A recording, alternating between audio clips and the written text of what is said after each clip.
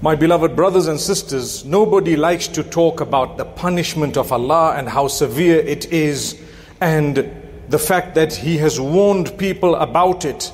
In fact, a lot of people like to ignore the topic of the punishment of Allah.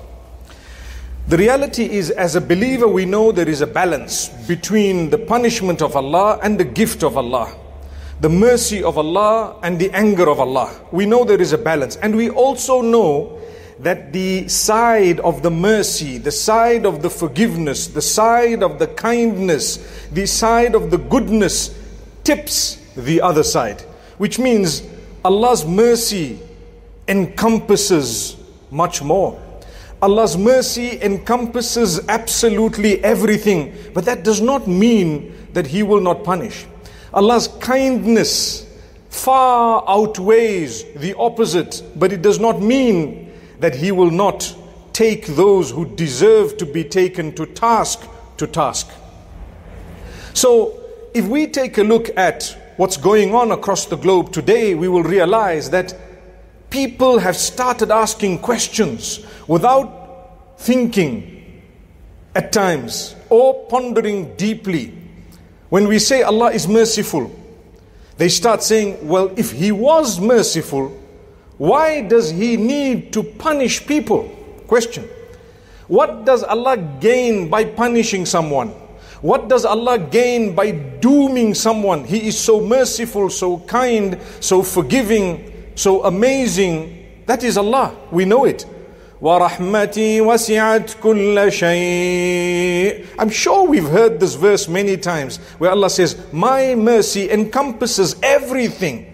Well, a question some of the youngsters have been asking me of late is, well, if Allah is so merciful, so kind, why did He need to create Jahannam? Why did He need to create hellfire? Why does He have to have people there?